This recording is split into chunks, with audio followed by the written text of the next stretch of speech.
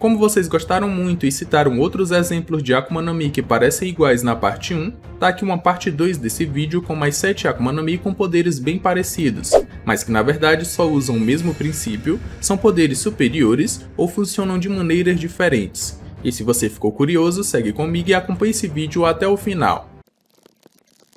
Fala galera, meu nome é Lucas, voltei com mais um vídeo de Akuma no Mi que se parecem iguais, mas são diferentes. Esse aqui não é o primeiro, a gente já tem uma parte 1, mas também tem outros vídeos falando sobre Akuma no Mi que eu acredito que vocês vão gostar. Para assistir é só assistir esse vídeo até o final que lá eu te relembro.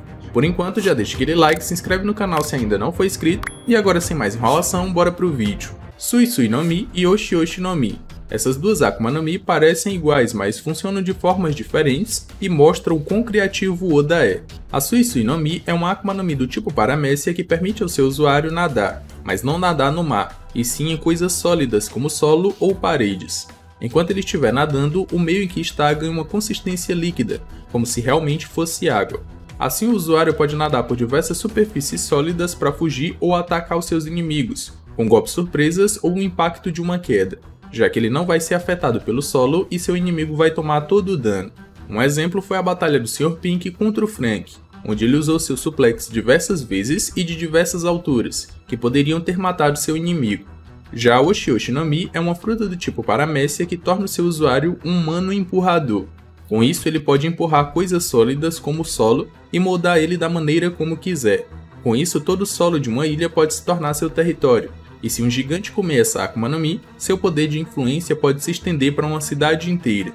Mesmo que o usuário não tenha toda a liberdade da fruta da natação, ele pode moldar o solo em estruturas que permitem que ele e outras pessoas fujam ou se infiltrem em qualquer local, além de que um solo sob sua influência vai ter uma maleabilidade maior e se comportar como uma onda, por exemplo, que pode ser lançada nos seus inimigos com toda a força. Fuji Fuji no Mi e Ato Ato no Mi essas duas Akuma no Mi se parecem porque trabalham com aspectos da arte. A Fuji Fuji no Mi é uma Akuma no Mi do tipo Paramécia que permite ao seu usuário gerar um tipo de tinta do seu corpo que ele pode usar para desenhar tudo que sua imaginação quiser. Ele pode fazer isso com seu próprio cabelo ou usar um pincel para isso. A melhor característica dessa fruta ou da tinta que ela cria é dar vida a todos esses desenhos desde que o usuário queira. Então, ele pode usufruir de todas as características dos seres que ele cria ou desenha. Se criar uma ave, vai poder voar com ela. Se criar uma chuva, vai fazer chover o que quiser. Se criar fogo, da mesma forma. Além de que pode replicar qualquer pessoa e se passar por ela sem que ninguém perceba. Um detalhe importante é que a qualidade e a força dos desenhos vai depender da habilidade de desenho do usuário. Se desenhar bem, vai ganhar o máximo de poder. Se for mal desenhado, vai ter um terço de poder e logo vai se desfazer. Então esse poder se torna muito mais apelão a partir do momento que o usuário pode criar um exército quase infinito, dependendo da sua estamina, de desenhos que ele pode usar para lutar em uma guerra. Já a Toato no Mi funciona como o oposto. Ela é uma Mi do tipo Paramécia que permite ao seu usuário transformar pessoas ou objetos em arte abstrata. Para isso, ela só precisa criar uma nuvem de pensamento com o tipo de arte que ela deseja e depois jogar no seu alvo. Após isso, a pessoa ou objeto vai ganhar todas as características de uma arte abstrata e perderá todas as suas características normais e poderes usuais. Seus ataques perderão a efetividade e armas se tornarão inúteis a partir desse momento. Mas se o usuário perder sua consciência, todo o efeito do seu poder vai se desfazer, e as pessoas afetadas vão voltar ao normal. Em questão de quem é superior, a Fuji Fuji no Mi fica acima, mas a Akuma no Mi da arte tem suas próprias características e pode se tornar forte dependendo do usuário. Mane Mane no Mi e Inu Inu no Mi modelo Kyubi no Kitsune. De cara, essas Akuma no Mi não parecem iguais porque uma é uma paramécia e outra uma Zoan mítica. Mas os poderes principais dessas Akuma no Mi são parecidos, mesmo que uma seja superior à outra. A Mane Mane no Mi é uma Akuma no Mi do tipo paramécia que permite ao seu usuário se transformar em qualquer pessoa que toque com a sua mão direita, tanto em aparência quanto em forma física e fala. Para se transformar, ele precisa tocar a pessoa com a sua mão direita e depois tocar o seu rosto com a mesma mão. Para voltar ao normal, é só tocar o rosto com a mão esquerda. Além disso, o usuário pode armazenar o rosto de todas as pessoas que já marcou, além de manifestar uma característica particular de cada uma delas em uma transformação só. Mas o maior poder dessa fruta é fazer o usuário se passar por outras pessoas e enganar seus inimigos causando discórdia mas ele não pode copiar poderes, armas, roupas ou jeito de falar de outras pessoas. Ele vai ter que imitar de algum jeito para se passar por essa pessoa. É aqui que entra a Inu Mi modelo Kyubi no Kitsune, uma Akuma do tipo Zoan mítica que dá ao seu usuário a transformação de uma raposa de nove caudas. Raposa essa que tem como característica, além de todos os poderes que uma Zoan normal dá, um poder especial de transformar o usuário em qualquer pessoa que ele quiser.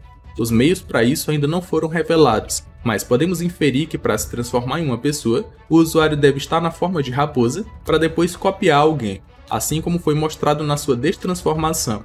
O estado de raposa parece ser um estado intermediário, mas o que deixa essa fruta muito apelona e superior a Mane Mane no Mi é o fato de que o usuário pode se transformar completamente em uma pessoa, tanto em aparência física quanto em roupas, forma de falar e maneirismos que aquela pessoa tinha. Então torna esse poder de mimetismo bem roubado. Quem sabe até possa copiar algum grau da memória da pessoa, ou até copiar seus poderes de Akuma no Mi, só que isso ainda não foi confirmado ou revelado. Então, mesmo que esses poderes se pareçam, a Zoan mítica tem um poder superior e mais roubado que a Mane Mane no Mi, Suna Suna no Mi e Numa Numa no Mi. Essas são duas Akuma no Mi do tipo Logia de elementos diferentes, mas que por aspectos físicos até que se parecem. A Suna Suna no Mi é uma Logia que permite ao seu usuário criar, controlar e se transformar em areia à vontade. Com esse poder, o usuário se torna uma areia viva, que pode até manipular areias em volta como se fosse a extensão de seus poderes. No caso do Crocodile em Alabasta, o deserto amplificava seus poderes de todas as formas. Ele podia criar desde areia movediça com areia normal, até uma grande tempestade de areia com o mínimo uso do seu poder, que seria ampliado pelo ambiente. Mas também ganha como poder especial a capacidade de sugar todos os líquidos com sua mão direita até desidratar completamente uma pessoa ou objeto, além de ganhar todas as características normais que uma logia dá ao seu usuário, como intangibilidade a ataques normais, mas também a fraqueza contra líquidos que deixam o corpo do usuário sólido e com isso toma todo o dano. Já Numa Numa no Mi é uma Akuma no Mi do tipo Logia que permite ao seu usuário criar, controlar e se transformar em um pântano à vontade. Diferente da areia, aqui o usuário ganha todas as características ou aspectos de um pântano. Tudo que for pego nesse pântano vai afundar cada vez mais até ser totalmente submerso. Outra característica desse poder é que esse pântano se torna um armazém infinito, tudo que for pego vai ficar armazenado nele pelo tempo que o usuário quiser, para ser usado em momentos oportunos. Desde comidas, armas e até pessoas, tudo pode ser armazenado dentro desse pântano.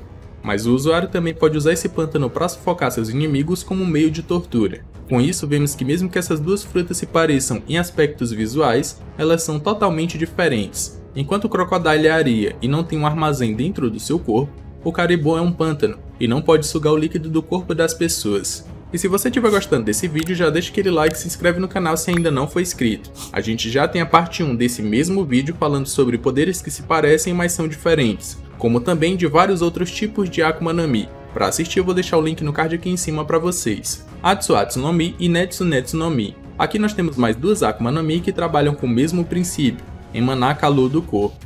A Atsuatsu no Mi é uma paramécia não canônica que permite ao seu usuário produzir e controlar grandes quantidades de calor. Além disso, o usuário pode controlar a quantidade de calor que emana, desde o natural do corpo humano até temperaturas absurdas capazes de derreter tudo em sua volta e acordar vulcões. A quantidade de calor que o usuário emana também está ligada ao seu estado emocional. Se estiver calmo, o calor é suportável, mas se estiver irado, é quase impossível permanecer perto dele, já que vai derreter tudo em sua volta. Na sua máxima temperatura, ele pode até criar esferas de calor e atirar elas nos seus adversários, ou até suportar a temperatura da lava e nadar nela como se estivesse nadando no mar. Por todos esses feitos que a próxima Akuma no Mi não mostrou, essa aqui pode até ser considerada superior, mesmo que ela não seja oficial. Já a Netsunetsu no Mi é uma Akuma no Mi do tipo Paramécia que permite ao seu usuário emanar calor do corpo, assim como a anterior. Diferente da primeira, aqui o usuário não controla a quantidade de calor que emana. Isso pode ser positivo, já que não foram estabelecidos limites de quanto ele pode se esquentar ou pode dizer que essa fruta é mais fraca que a anterior, já que seu calor máximo não foi capaz de derreter o ambiente em sua volta. Mas o usuário pode usar esse calor para queimar as pessoas com toques físicos ou então incendiar sua arma para atacar seus inimigos. Ele também pode transferir calor através do contato visual e toda arma próxima dele vai se tornar impossível de ser manejada, pela alta temperatura que ele coloca no ambiente e nos objetos. Ele também pode passar seu calor por indução à água e aquecer uma extensa faixa de mar, matando todos dentro dele, além de inutilizar diversos navios inimigos. Por fim, ele não mostrou mais do que isso, o que faz a gente pensar que a Atsuatsu no Mi é superior. Mas o Oda pode desenvolver essa fruta ainda mais no futuro e quem sabe ela possa atingir temperaturas iguais a que a gente viu anteriormente, e ele possa até suportar a lava, suportar o magma, por exemplo, fruta da passagem do tempo e Juku Juku no Mi. Aqui temos mais dois poderes parecidos que funcionam quase da mesma forma, mas afetam o corpo das pessoas de maneiras diferentes. A fruta da Bonnie ainda não teve seu nome revelado, mas é uma paramécia que permite que ela possa manipular a idade ou tempo de vida de uma determinada coisa ou pessoa. Se usada em pessoas, pode avançar sua idade até a velhice, ou regredir até o estado de um bebê. O usuário controla a quantidade de anos que uma pessoa terá depois que for tocado. E tudo isso funciona no corpo do usuário para que ele possa fugir, se infiltrar ou enganar os outros. Um detalhe bastante importante é que esse avançar de tempo funciona tanto em pessoas quanto em objetos, mas em pessoas não é permanente, com as vítimas voltando ao normal após um determinado tempo. Só que em objetos é permanente, e as coisas podem ser envelhecidas ao ponto de serem destruídas. Então se torna mais efetivo contra objetos inanimados do que contra seres vivos, que só serão incapacitados por um determinado período de tempo, mas as coisas ou objetos destruídos não vão voltar mais ao normal. Já a Juku Juku no Mi é a paramécia do amadurecimento. Tudo que o usuário tocar vai amadurecer enquanto estiver influência desse poder, Inicialmente ele também foi usado só em objetos e funciona basicamente como a fruta da Bonnie. Vai apodrecer um objeto até o ponto que ele se destrói, quase como se também tivesse aumentando seu tempo de vida até uma coisa ficar velha. Mas se for usado em seres humanos, vai envelhecer eles ao ponto de chegarem ao seu estado maduro. Claro que se o usuário continuar usando o poder, vai passar desse estado e vai ficar velho. Quando foi usado no Momonosuke, ele ganha um corpo maduro de 20 e poucos anos, um corpo no seu ápice de poder, mas diferente da fruta da Bonen, esse amadurecimento é permanente e a pessoa nunca mais vai voltar ao seu estado normal. Mas esse amadurecer é só fisicamente. Aspectos mentais ou emocionais vão continuar os mesmos de antes. Por isso, Momonosuke continua sendo uma criança no corpo de um adulto, e ele não vai poder mais voltar ao seu estado de criança de novo. Fuofua no Mi e Zushizushi no Mi. Para fechar, temos mais essas duas Akuma no Mi que parecem iguais, mas só partem do mesmo princípio.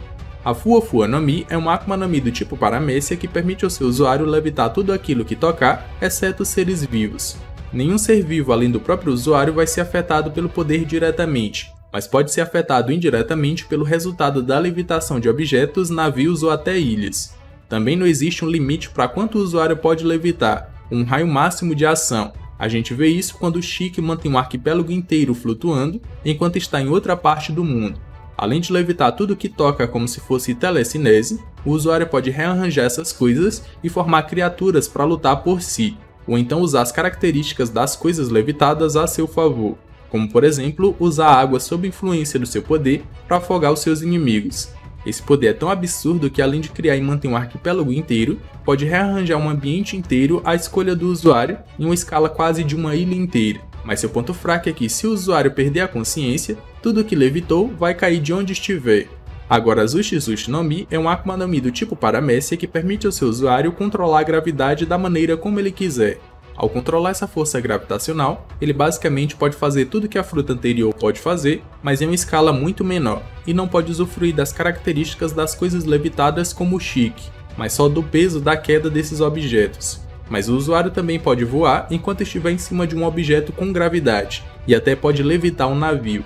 Sua força gravitacional é tamanha que ele pode abrir uma cratera no chão ou esmagar os seus inimigos com uma gravidade tão absurda que eles nem podem se mover. Pode convocar um meteoro do espaço e lançar diretamente em seus inimigos, ou usar uma gravidade na horizontal, lançando um ataque tão absurdo que manda tudo em sua frente para longe além de que pode levitar os escombros de uma ilha inteira para serem usados como armas e arremessados nos seus inimigos. Agora chegou a sua vez de participar desse vídeo, já comenta aqui embaixo se ainda existem Akumas no Mi que se parecem iguais, mas que eu não citei nem nesse vídeo e nem na parte 1. E como eu falei, a gente já tem uma parte 1, além de uma playlist completa só falando sobre Akuma no Mi que eu acredito que vocês vão gostar. Primeiro, já deixa aquele like, se inscreve no canal se ainda não for inscrito, os dois vídeos vão estar aparecendo aqui na tela final, e eu me despeço por aqui, um abraço e valeu!